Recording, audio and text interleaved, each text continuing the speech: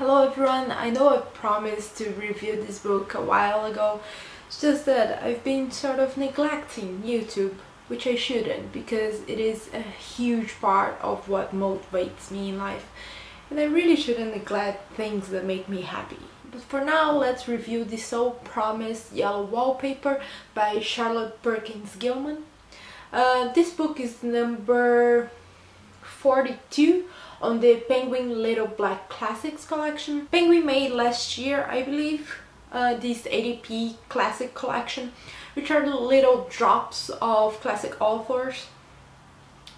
Uh, here in Ireland they cost a euro 50 which is quite a good price and they give you a taste of some classic authors that you might like and want to read more about. They are little excerpts from sometimes things they are not so well known for or unknown poems. It's actually quite good. I bought a bunch of these little ones, but I especially wanted to talk about Charlotte Perkins Gilman because I feel like her work really struck a chord with me. This book deals with female empowerment or lack of it. It also deals with mental health and those are subjects that are very close to my heart. This book is a selection of three of Charlotte's short stories. The first one is the title one, The Yellow Wallpaper and it tells the story of this woman who suffers from depression, perhaps even postpartum depression, since she just had a child who is mentioned. Her husband kind of forces her to move into this country house in order to get better, get some fresh air. And she moves into this room that she really, really hates it has this terrible yellow wallpaper. Charlotte Perkins Gilman was born in 1860 and died in 1935 in the United States. But I feel like this story, especially the first one, has a very English tone. If I had not known she was American, I would think she's an English author because it's quite hard to pinpoint exactly what makes it so English-like but I do feel like the voice is very English or reminds me of classic English literature, I don't know.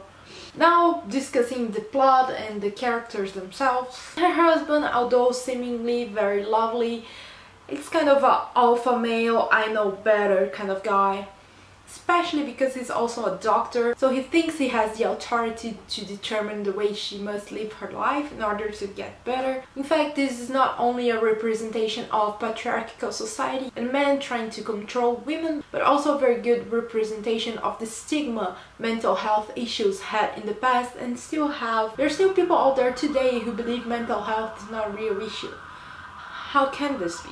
I don't know because I myself always have the tendency toward mental health issues. As the book progresses and the main character becomes more and more paranoid, the story becomes quite dark and almost and I should say should be accompanied by maybe a trigger warning. I know it touched some wounds in me and I feel like if you suffer from mental health issues, please be sure that you're well enough to get into this otherwise may mess up something that you're still not completely resolved you're not well enough to deal with so just be careful going into this and make sure you are in a good place to do it. This book also contains two other stories. Uh, the, the second one's called The Rocking Chair it's about two friends who move into this apartment because when they're walking down the street, they see through the window a beautiful woman rocking on this rocking chair and they decide, oh, we need to move into this apartment and see who this woman is. At first I was very intrigued with this story. It's much more American, you can feel the American vibe. And at first the narrator, the narrator's gender is not revealed for the like first couple of pages and I found that quite intriguing. And I like to believe that the narrator was a woman, that she was like an independent working woman trying to be a journalist, moving into this new apartment with her male best friend and falling in love with an unknown woman. That was much more exciting, but in fact, after two pages, the gender of the narrator is revealed and the story kind of lost some of its spark for me. It was a little bit disappointing. The old story is called Old Water.